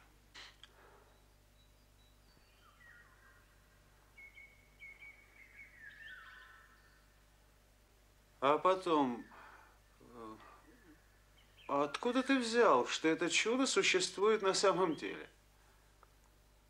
Кто вам сказал, что здесь действительно желания исполняются?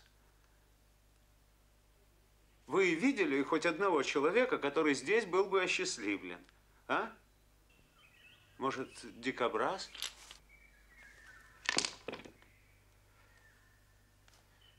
Да и вообще, кто вам рассказал про зону, про дикобраза, про комнату эту?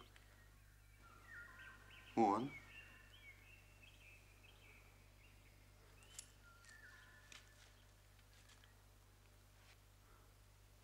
Ой.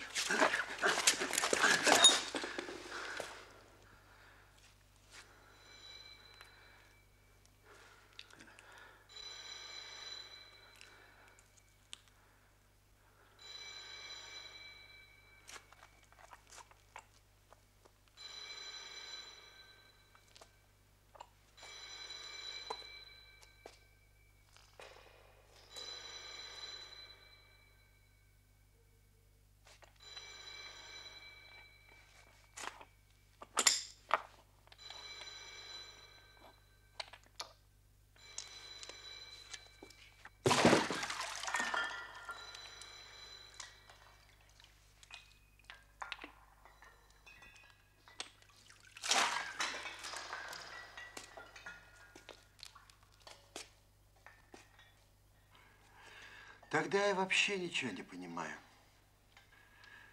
Какой же смысл сюда ходить?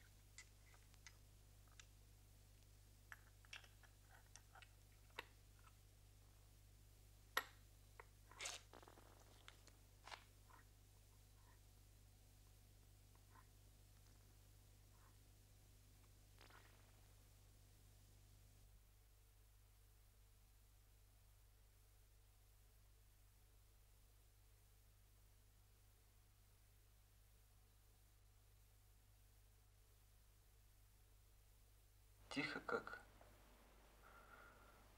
Слышите?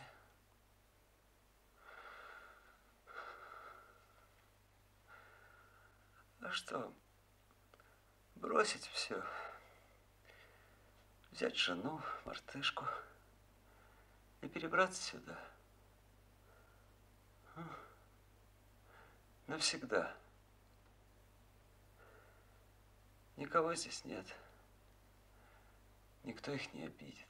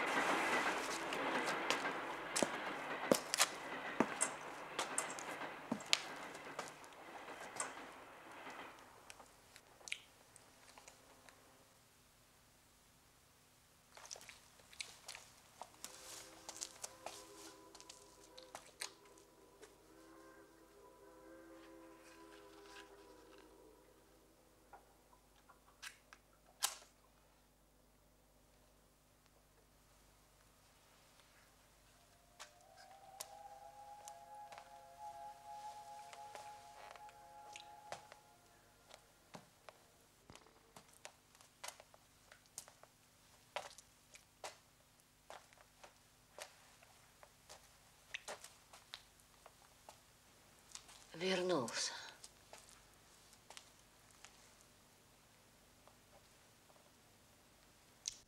А это откуда? Там пристала. Не бросать же ее.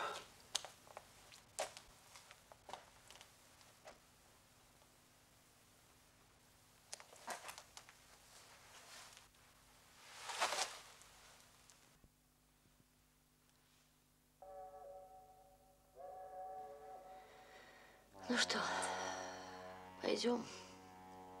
Мартышка ждет. М? Идем?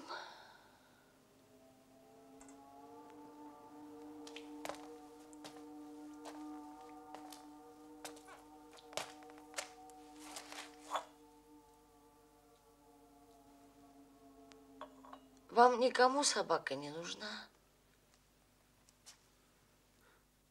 Да у меня таких пять штук дома.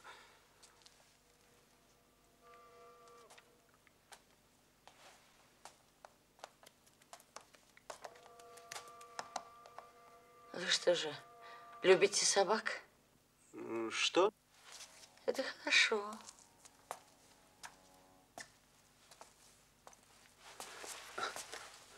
Ладно, пойдем.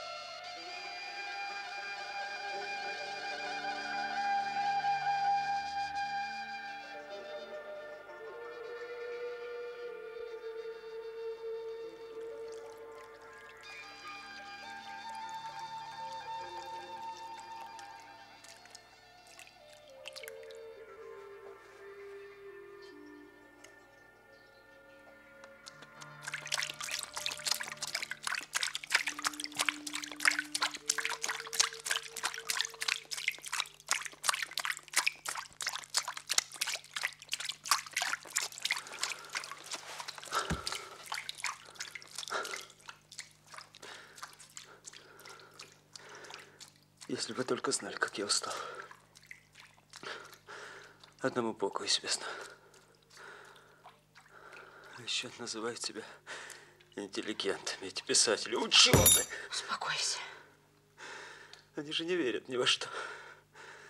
У них же орган этот, которым верят, атрофировался Успокойся. за ненадобностью. Перестань. перестань. Пойдем, ты ляг. Не надо. Ты ляг, ляг. Ты здесь сыро, тебе здесь нельзя. Сними.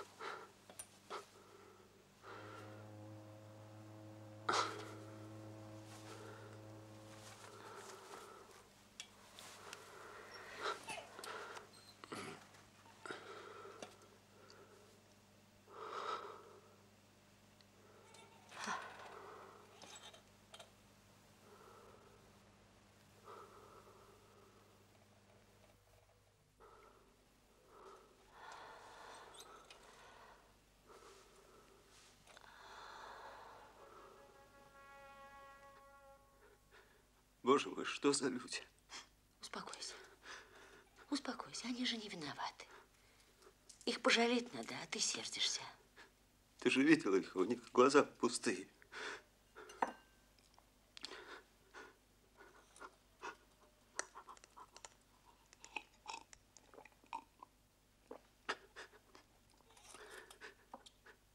Они ведь каждую минуту думают о том, чтобы не продешевить, чтобы продать себя подороже, чтобы им все оплатили, каждое душевное движение.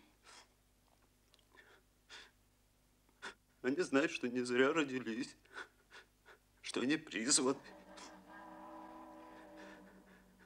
Они ведь живут только раз. Разве такие могут во что-нибудь верить? Успокойся. Не надо. Постарайся уснуть,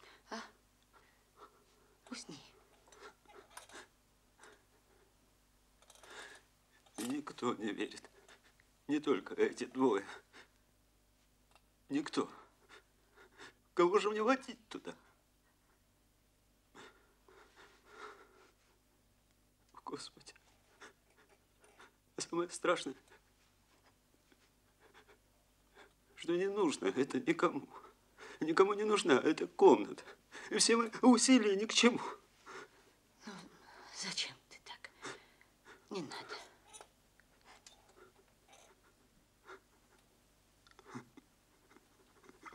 Не пойду я туда больше ни с кем. Ну, ну, хочешь, я пойду с тобой? Туда. Хочешь? Куда? Думаешь, мне не о чем будет попросить?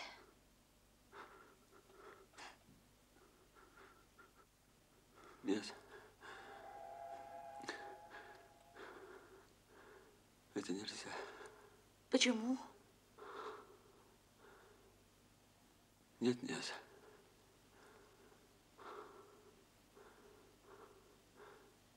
А вдруг тебе тоже ничего не выйдет?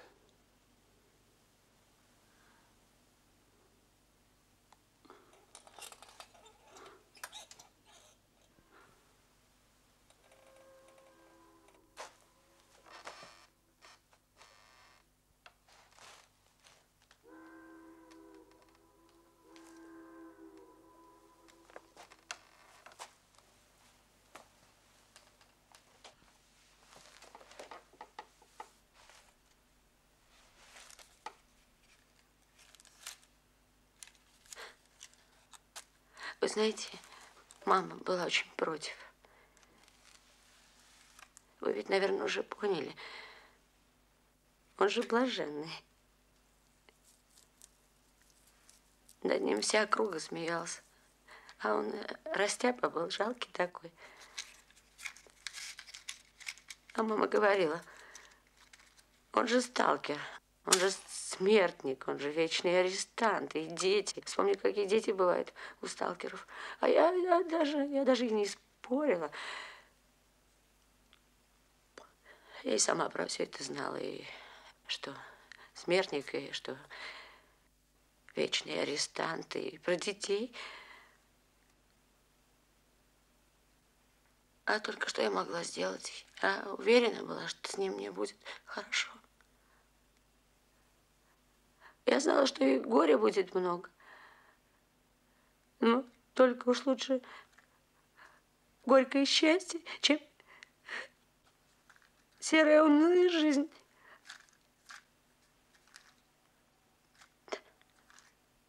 А, может быть, я все это потом придумала.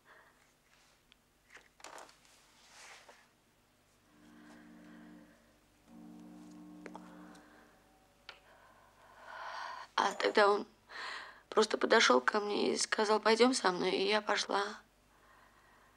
И никогда потом не жалела. Никогда. И горя было много, и страшно было, и стыдно было. Но я никогда не жалела и никогда никому не завидовала. Просто такая судьба. Такая жизнь, такие мы.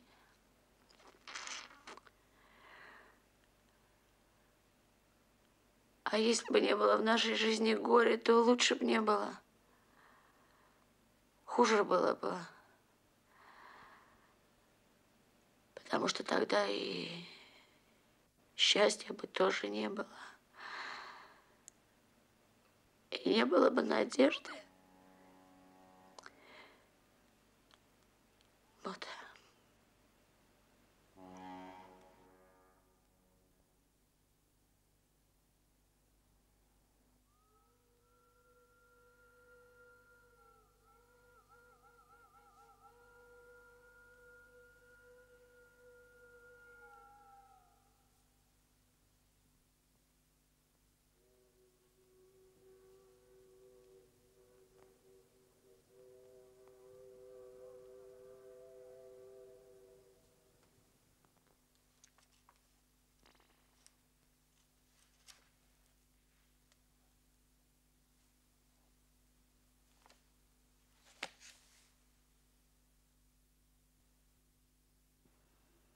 Люблю глаза твои, мой друг, С игрой их пламенно чудесной. Когда их приподнимешь вдруг, И словно молнии небесной Окинешь бегло целый круг. Но есть сильней очарования Глаза потупленные ниц — в минуты страстного лобзания И сквозь опущенных ресниц Угрюмый, тусклый огонь желания.